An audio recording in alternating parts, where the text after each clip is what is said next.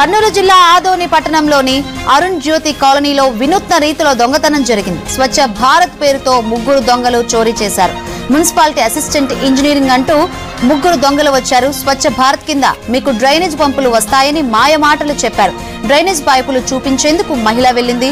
లోపలున్న మరో వ్యక్తి ఇంట్లో పదమూడు తులాల బంగారు ఆభరణాలు ఎత్తుకెళ్ళారు. దీంతో బాధితురాలు త్రీ టౌన్ పోలీస్ స్టేషన్లో ఫిర్యాదు చేసింది.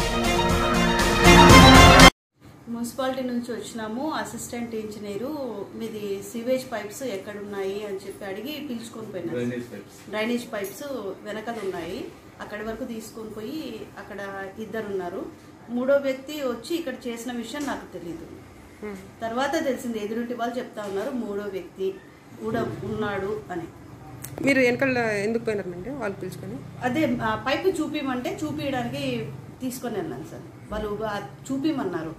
ఆ డ్రైనేజ్ పైపు ఎక్కడుంది ఎక్కడి నుంచి స్టార్ట్ అవుతుంది ఎట్లా అని అంటే అక్కడికి వెళ్ళినాము. ఆడిపోయినాక పైపు కొలతలు తీసుకుంటాము. మీకు ఇప్పుడు ప్రజెంట్ మోదీ ప్రభుత్వంలో స్వచ్ఛ భారత్ కింద మీకు పైపులు వస్తాయి. మీకు మూడు రోజుల్లో మీకు తొమ్మిది పైపులు వస్తాయి. నేనే నేను అసిస్టెంట్ ఇంజనీర్ని అని అది ఐడి కార్డ్ కూడా చూపించినారు.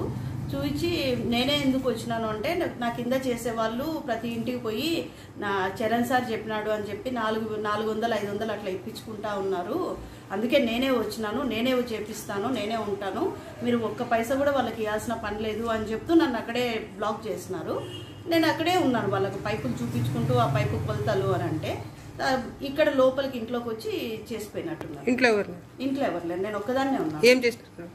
ఏమేమి తీసుకొని పోయినారు? ఆ, లాంగ్ చైను నల్ల పూసల దండ గాజులు కమ్మలు బ్రాస్లెట్ ఎన్ని తులాలు ఉంటాయి? టోటల్గా ప పన్నెండున్నర నుంచి పదమూడు తులాలు ఉంటుంది మీ పేరు? సంధ్య.